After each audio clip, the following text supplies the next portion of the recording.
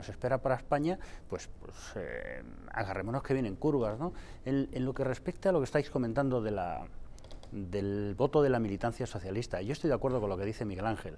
Yo creo que no es necesario de acudir eh, a los militantes cuando te has respaldado 7 millones de, españoles y te, y te legitiman como para tomar una decisión. Pero también, eh, puesto que estamos en el referéndum y este que han celebrado este, este día y tal, hay que decir las cosas muy claras casi la mitad de los socialistas dicen no al acuerdo del PSOE ¿eh? con, con Unidas Podemos. Y digo casi la mitad porque el Partido Socialista Obrero Español, que cada vez menos tiene menos de socialista, de obrero y nada de español, ha convocado a 178.000 de sus militantes a las consultas, de los cuales han votado 90.000. Estamos hablando de un 53%, perdón, un 56% un 44% se ha quedado en casa. Pero de los que han votado, el 92% dice que sí y el 8% dice que no.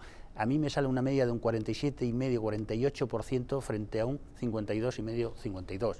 Y eso lo vuelvo a casar con una encuesta de sociométrica en la que dice que más del 50% de los votantes del Partido Socialista Sánchez, más del 50% de tus votantes dicen no, no al pacto de gobierno entre Podemos